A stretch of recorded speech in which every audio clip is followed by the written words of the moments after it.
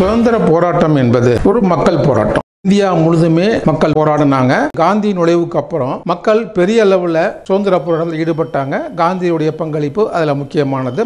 தலைவர்களா சில பேர் தான் உருவானாங்க.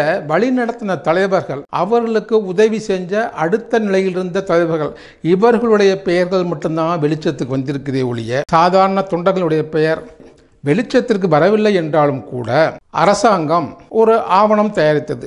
ஹூ இஸ் ஹூ என்ற ஒரு புத்தகம் வெளியிட்டிருக்கு. தமிழ்நாடை பொறுத்தவரை இந்தியாவை பொறுத்தவரை. எந்த போராட்டத்தில் கலந்துக்கிட்டு அவங்க ஜெயிலுக்கு போனாங்க? என்ன ஜெயிலில் எவ்வளோ நாள் இருந்தாங்க?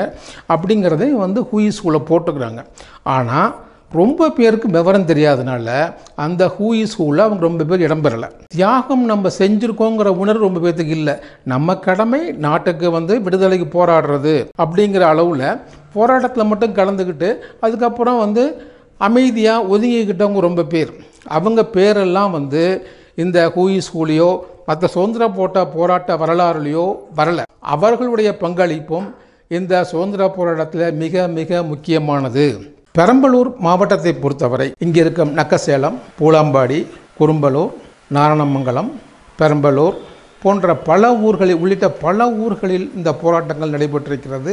ஏராளமானவர்கள் சிறைக்கு சென்றிருக்கிறார்கள் போராட்டங்களில் கலந்து கொண்டிருக்கிறார்கள்.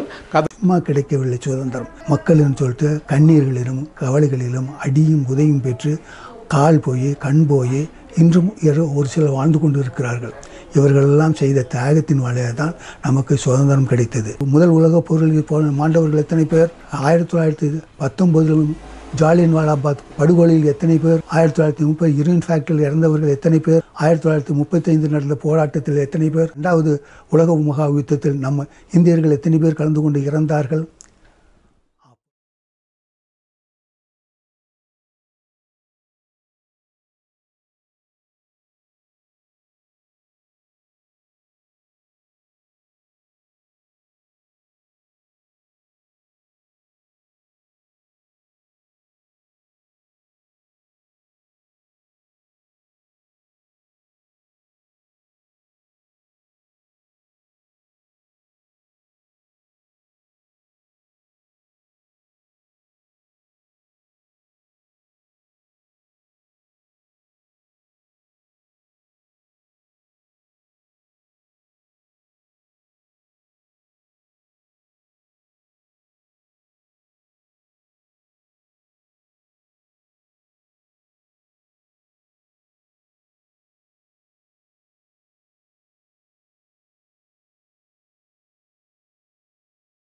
காங்கிரஸ் தலைவர்கள் நடத்திய தொண்டர்கள் பயிற்சி பட்டறையில் கலந்து கொண்டிருக்கிறார்கள். காங்கிரஸ் திரட்டிய சுயராஜ்ய நிதிக்கு நிதியளித்துள்ளார்கள். எல்லா வகையிலும் பங்களித்துள்ளார்கள்.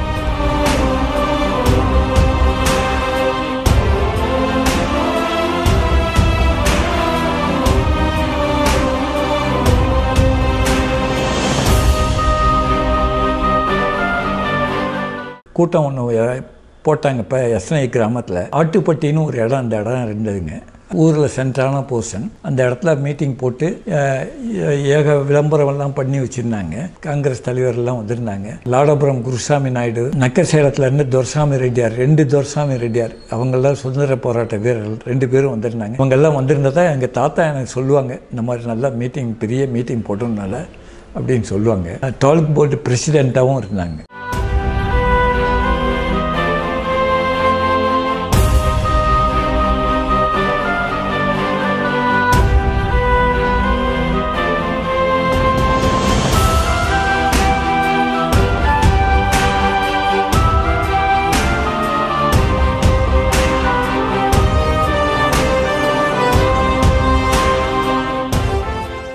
போராட்டத்துக்காக நூறு பவுன் நகையை வீடு வாசல் எல்லாத்தையும் மக்களுக்கு கொடுத்துட்டாரு. வீட்டில் வந்து கதிர நூல் நூக்கத்துக்குள்ள எல்லா ஜாமானும் வச்சிருந்தார். எல்லா ஆட்டை போக்குவரத்து எல்லாமே இருந்தது. மகாத்மா காந்தி இறந்த போதெல்லாம் வந்து ஒரு மாசம் சாப்பிடாம மனவரத்தோடு இருந்தார்.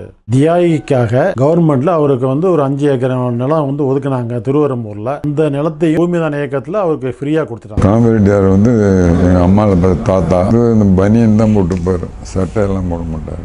அவர் வந்து பெரம்பலூரில் ஸ்கூலுக்கு வந்து இடம் கொடுத்து பெரம்பலூர் ஸ்கூலுக்கு கட்டடமும் கட்டினாரு. சின்னசாமி ரெட்டியார் இப்போ பூர்வீகம் பூலாம்படி தாங்க அவர் காந்தியை பற்றி ரொம்ப பிரமாதமாக பேசுவாருங்க.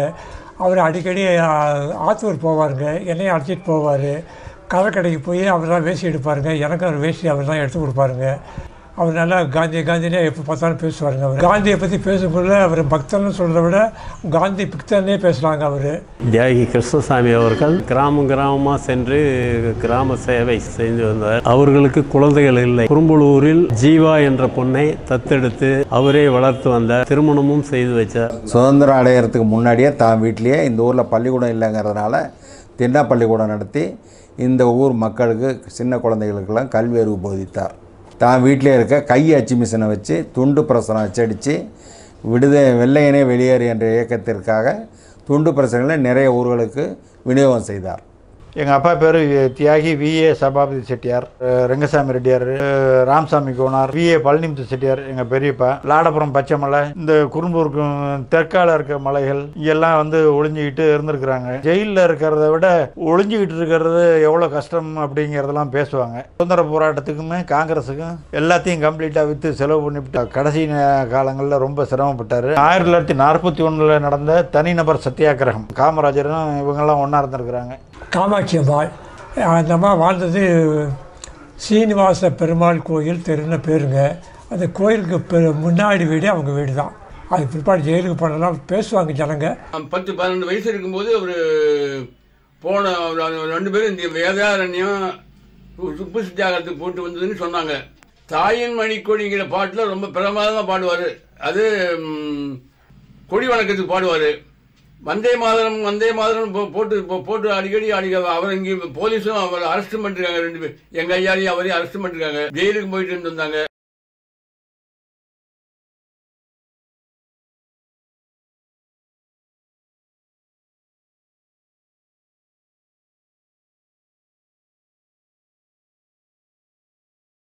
குருசாமி ஐயா அவர்கள் நாட்டுக்கு சேவை செய்ய வேண்டும் என்ற ஒரே எண்ணத்தினால அவர் திருமணம் செய்ததாக கூட கிட்ட நூற்றி ரெண்டு ஆண்டுகள் வாழ்ந்தார்.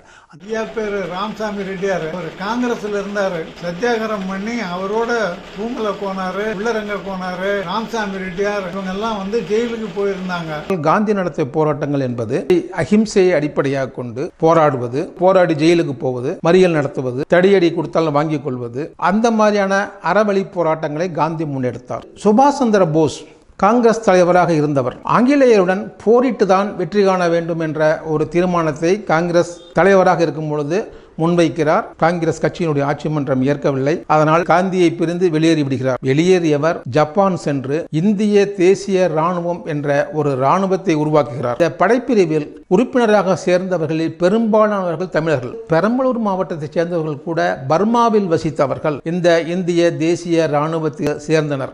அங்கே வந்து பெருமாள் முச்சாமி சேர்த்துட்டாங்க அந்த இராணுவத்திற்கு ஜப்பான் ஜெர்மன் உள்ளிட்ட பல நாடுகள் ஆதரவு அளிக்கின்றன இந்திய தேசிய ராணுவத்தை இரண்டாம் உலக போரின் பொழுது ஜெர்மன் நாட்டிற்கு ஆதரவாக போரில் இறங்கினார். ஆங்கிலேயர்களுக்கு எதிராக படை நடத்தினார். பர்மாவிலிருந்து அந்த படை மேற்கு வங்கம் வழியாக இந்தியா நுழைவது என்பது திட்டம். அதன்படி அந்த படை நடந்தது. அதன் தலைமை கமாண்டராக சுபாஷ் சந்திர போஸ் செயல்பட்டார். இந்திய தேசிய ராணுவத்தினர் பெரும்பாலானர் கைதிகளாக பிடிக்கப்பட்டு ஆங்கிலேயர்களால் சிறையில் அடைக்கப்பட்டனர். தமிழர்கள் இந்த போர்ல கலந்துகிட்டு சிறையில் அவதிப்பட்டார்கள் அடிப்பட்டார்கள் காலை டீ கொடுப்பாங்க. எட்டு ஒன்பது மணிக்கு. அப்புறம் அதை வச்சுட்டு இப்போ பன்னெண்டு மணி ஒரு மணி சாப்பாடு அப்புறம் சாயங்காலம் சாப்பாடு. சுபாஷ் சந்திர போஸ் விடுத்த அறைகூலை ஏற்று பர்மாவில் மலேசியாவில் வேலை செஞ்ச தமிழர்கள் இந்த படையில் சேர்ந்து ஆங்கிலேய படையை ஏற்று போரில் கலந்து கொண்டவர்கள். அம்மாதிரியான போரில் கலந்து கொண்டவர்கள் இம்மாவட்டத்தில் பரவலாக பல ஊர்களில் வசித்து வந்துள்ளார்கள். இவர்களில் போத்துராஜா ரங்கசாமி என்பவரும் இன்று நம்மிடையே இருந்து வருகிறார். ஆயிரத்தி தொள்ளாயிரத்தி முப்பத்தி ஏழில் நான் பர்மாவுக்கு போனேன். நேதாஜியை பற்றி காந்தி பற்றி நேரு பற்றி சொன்னேன். எனக்கு நாட்டு மேலே பத்தத்தில் ஆகிப்போச்சு தென்னிந்தியா நேரு இளைஞர் சங்கம்னு இருந்து அதில் ஐயாயிரம் பேர் உறுப்பினர் அப்போ நானும் சேர்ந்துட்டேன். நேதாஜி சுபாஷ் சந்திர போஸ் பர்மாவுக்கு வந்தார். ஐஏஎன்ஏ அப்போ நான் சேர்ந்தோம் அவர் வரும்போது அவரை போய் பார்க்கணும் அப்படின்ட்டு இங்கே இருந்து அந்த யுவசேகர் கிராமத்தில் இருந்து ரங்கோனுக்கு வந்தோம். நேதாஜி பேசிக்கிட்டு இருந்தார். அவங்க எல்லாருமே கத்தி கையெழுத்து எழுதாங்க போட்டாங்க. ஜப்பான்காரன் ரங்கோனுக்கு பூரா அவங்க பிடிச்சிக்கிட்டானுங்கல்ல. அவங்க வந்து எங்களுக்கு பயிற்சி கொடுத்தாங்க. இந்தியா சுதந்திரம் அடைந்தது நாற்பத்தி ஏழு ஆனால் அவர் நாற்பத்தி மூணுலேயே வந்து இந்தியா சுதந்திரம் அடைந்து விட்டது என்று தனி நாட்டை ஆரம்பித்தார் தனி கொடியை ஆரம்பித்தார் தனி கட்சி ஆரம்பித்தார் அதற்கென்று தனி நாணயத்தை ஆரம்பித்தார்.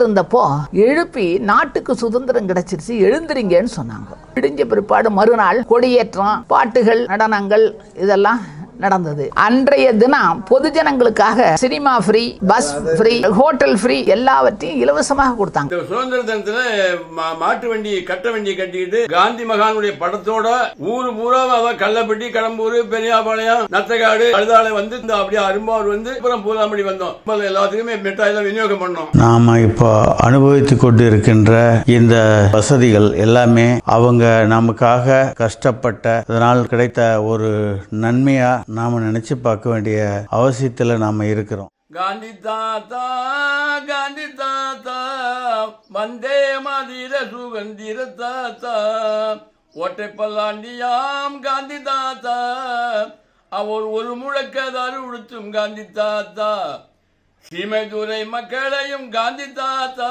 அவர் சிரித்து வசியம் கொண்டார் காந்தி தாத்தா சீமைதுரை மக்களையும் காந்தி தாத்தா அவர் சிரித்து வசியம் கொண்டார் காந்தி தாத்தா.